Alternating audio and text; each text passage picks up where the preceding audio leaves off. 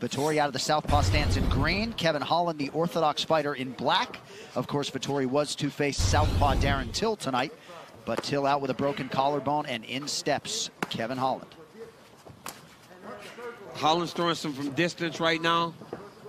Vettori's going to have to find a way to counter punches. He does a, a great job of, of slipping and then ripping when guys try to get at him with the hands. But Kevin's kicking at him, so it's really making it hard for him to land his shots. He did land a good left hand just a second ago.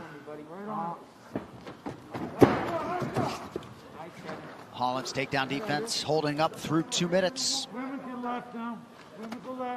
That was a great attempt by Marvin Vettori, but that's where he needs to go. He needs to go to the legs, right? Holland's such a tall guy that trying to just drag him to the ground will be very difficult.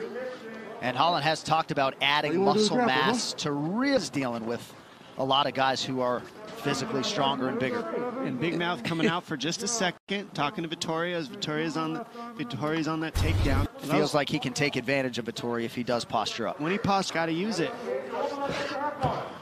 He seemed to intimate in our fighter meeting that he felt like there would be offensive opportunities in that position, but yeah, he said he wants to use, you know, he said he wants to use the omoplatas and um, all that stuff to create angles in order to create space. So far, we haven't seen it. Uh, close guard right now. Great job by Vittorio. He's keeping his hands inside. Look at how he pummels, Cruz. A lot of people miss that when they're watching the ground and pound. You miss the pummeling on the top guy. Look how Vettori just constantly is working his hands back inside before he throws his strikes. Look at Brunson. Or, oh.